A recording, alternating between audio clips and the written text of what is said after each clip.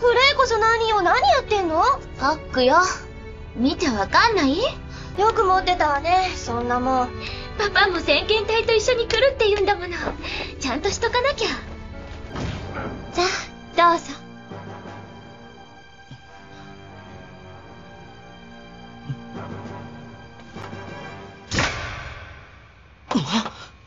ガンダム？ちょっと違いますわね。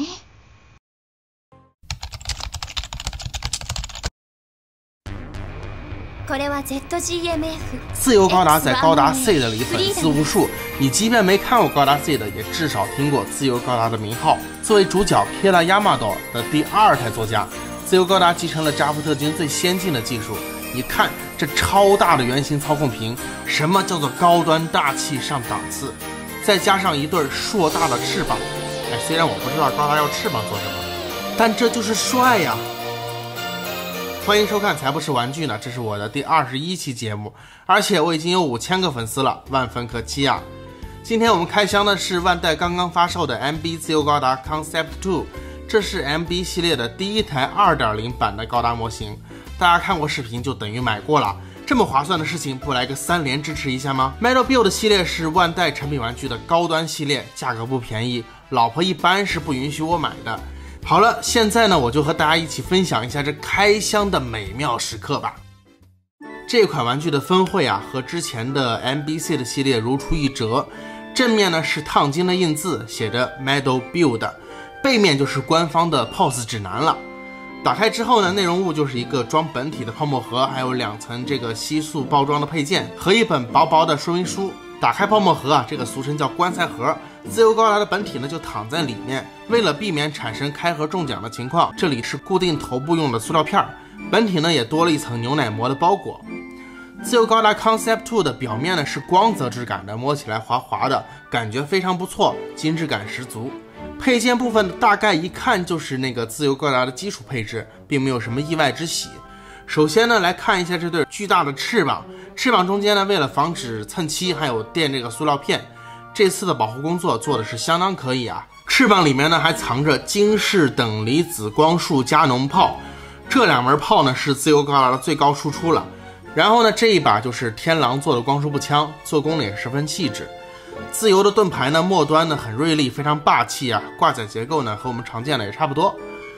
这是裙甲两侧的其余磁轨炮，有三段的展开结构。顶部呢还能搭载蝎虎做光束军刀的刀柄，而另一层的吸塑包装呢就是这个 MB 样式的通用地台了，上面印刷着机体的编号 Freedom Gundam。OK，我们先把自由高达本体和翅膀搭载起来，看看什么样吧。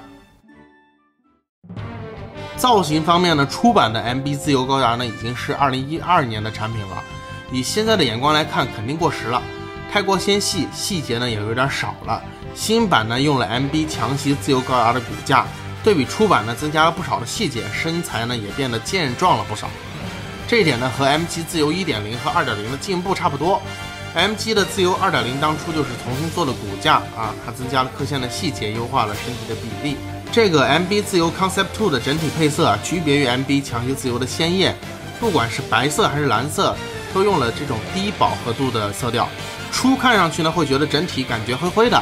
红色的部分呢，也并非高达常见那种鲜艳的红色，而是一种较深的猪肝红，还带有一丝珠光效果，反光下呢有十分丰富的视觉体验。再加上枪色核心关节闪闪发亮的点缀啊，整体效果帅爆了。如果说 MB 命运是恶魔，MB 强袭自由呢是战胜恶魔的圣骑士，那么 MB 自由2.0。就是战斗过后从不回头看爆炸的冷酷武士。弹幕告诉我，MB 自由和 MB 强袭自由，你更喜欢哪一台呢？从头雕来看，这百分之百是自由高达里最俊美好看的头雕了。眼睑的部分呢，涂了区别于其他红色的某种珠光红色，反光效果十分明显。脸颊部分的出气口呢，也有金属紫色的点缀。胸口部分的设计呢，和 MB 强硬自由风格一致，将机械的结构写实化的表现出来。用不同的灰色涂装突出兵器感，特别是胸口的进气格栅，内部的涂装是枪铁色的，中间是铜色的，非常有魄力。肩部的喷口呢，做了枪铁色和蓝色的涂装，和灰白的肩甲区分开来，从视觉上形成了错落感。肩甲上也是用了小色差分色来强化细节，裙甲上也有小色差分色，两侧的奇遇刺鬼炮的后掠角度更大了。我看到很多人都在评论说这个腿太长了，但是我觉得还好吧。腿部的涂装呢，也是有这种错落有致的小色差分色的。然后呢，我们重点看看翅膀，翅膀的部分用了三种不同的蓝色来表达。也有一点点珠光质感的金属漆效果，还点缀了一些银色的线条，就像是翅膀上的羽毛一样。背部的推进器呢，也有枪铁色的涂装，末端这里非常的尖锐啊。其实标志一页呢，在这款 MB 上并不多，不像强袭自由那么复杂，就是那种恰到好处的感觉，不会太凌乱，也很耐看。弹幕告诉我，如果是一到十分的话，你给这次 MB 自由高达 Concept Two 给多少分呢？Metal Build 系列呢有究极可动之称，这款自由高达 Concept Two 呢继承了强袭自由的骨架，可动性没理由会差。头部的旋转呢，因为后面有干涉，所以转动幅度呢和人类的类似。领口的部分呢还有一段关节，可以使摆头的动作呢更为自然。肩甲不同于拼装系列啊，前半片呢有展开结构，整体却是固定在后半片上，这样做可以使胳膊做上抬动作的时候显得更自然。曲肘角度比较可观，手腕处呢还有一段关节可以微调角度提升动感。腰部这里可看点颇多啊，弯腰的时候注意，后腰这里有一段关节填充，避免穿帮。腹部这里呢有多段的关节联动，只是呢我这台比较紧，联动呢看不大出来。前军甲向前打，前踢呢可以有九十度左右的角度，后心甲抬起的角度呢却比较受限。膝关节这里呢也有多段的联动，在屈膝的时候啊，这一段金属呢还可以自动缩进去。让屈膝的动作更为自然。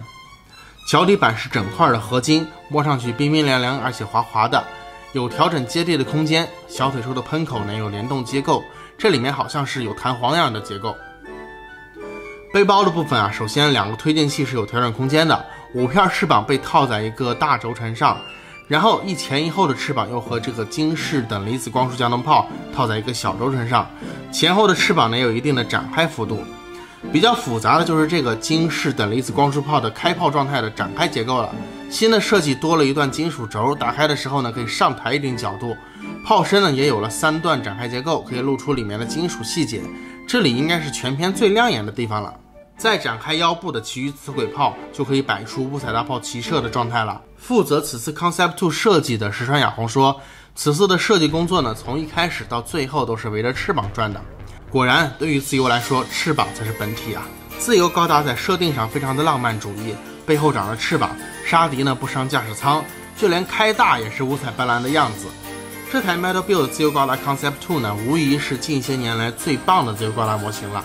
制作工艺呢更为成熟，处处都能看到精良的结构设计，魔改的成分恰到好处，不至于夸张，依旧保留了自由高达的神韵，可以看出设计师的克制。摆在柜子里，忍不住你就想拿出来摆弄摆弄。我仍希望在 PG 这个系列中看到自由高达的身影。这么多年了，万代也是时候了。高达 Seed 呢，播映于2003年，这是一个新老交替的契机。指导监督呢是福田几金央，他成功的用偶像剧的形式来讲述高达的故事。女主啊是歌姬，一打仗就唱歌，这样的设定呢也颇有 Macross 的影子。高达 Seed 呢，为高达带来了更多的受众，让女孩子也开始看高达。高达这个 IP 呢，也借此作品在商业方面取得了更大的成功。可惜 UC 老粉们并不买单。虽然高达 Seed 在高达迷眼中褒贬不一，但是自由高达还是人见人爱的。今年关于自由高达的好消息不少。首先，MB、Metal Road 魂两个核心系列呢都要出自由高达。其次，2021年上海还会迎来一座一比一的自由高达立项。考虑到这是日本以外的第一台一比一高达立项，这建成之日啊，咱一定得去朝拜朝拜。这一期的才不是玩具呢，就到这里了，大家千万要记得一键三连。